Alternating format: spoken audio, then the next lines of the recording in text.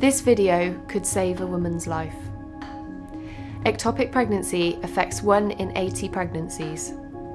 If not diagnosed and treated quickly, it can be a life threatening condition. The symptoms of ectopic pregnancy are similar to other conditions like miscarriage or an upset stomach.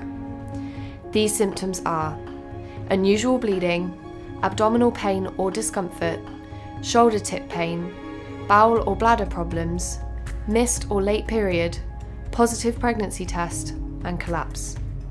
Some women experience hardly any or even no symptoms.